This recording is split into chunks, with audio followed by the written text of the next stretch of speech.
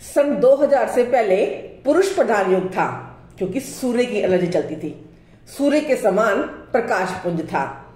लोग सुबह सूर्योदय के समय उठते थे, अपने काम काज करते थे और शाम ढले अपने घर वापस आते थे। लेकिन आज का युग स्त्री प्रधान युग है। क्यों? क्योंकि 2000 के बाद चंद्रमा का युग शुरू हो चुका है। साइंस एंड टेक्नोलॉजी का युग शुरू हो चुका है। अब रातों में काम किया जाता है, और दिन में आराम किया जाता है।